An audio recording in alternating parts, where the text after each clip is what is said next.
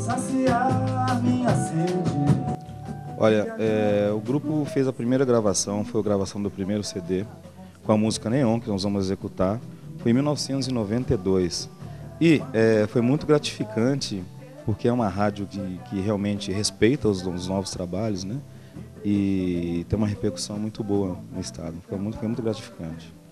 Bem, essa, essa festa, é, o tamanho desse evento realmente é uma coisa muito, muito bonita. Nós ficamos muito satisfeitos por, por, pelo convite e agora está aguardando só somente o momento de, de estar tá no palco fazendo essa apresentação, que com certeza vai ser muito bonita.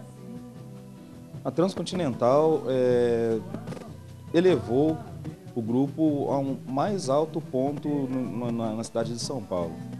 E veio a calhar que nesse momento está sendo muito importante novamente porque o grupo está voltando com as suas produções, voltando com as suas gravações. Nesse exato momento o convite foi assim perfeito. Transcontinental é um sonho de, de acesso. Um sonho de acesso que nos trouxe a realidade. Então, dessa maneira, dá para medir a importância da rádio para o grupo e para os artistas. Né? Transcontinental, que sempre teve um trabalho brilhante para nós artistas, para o público, eu tenho certeza que a, a partir de já, amanhã vai ser sempre melhor do que hoje, pela qualidade dos seus funcionários, pela qualidade do, do, seus, do seu repertório, do que toca o dia todo. Eu quero parabenizar a rádio por ter chegado a 25 anos de sucesso e de mãos dadas conosco, artistas.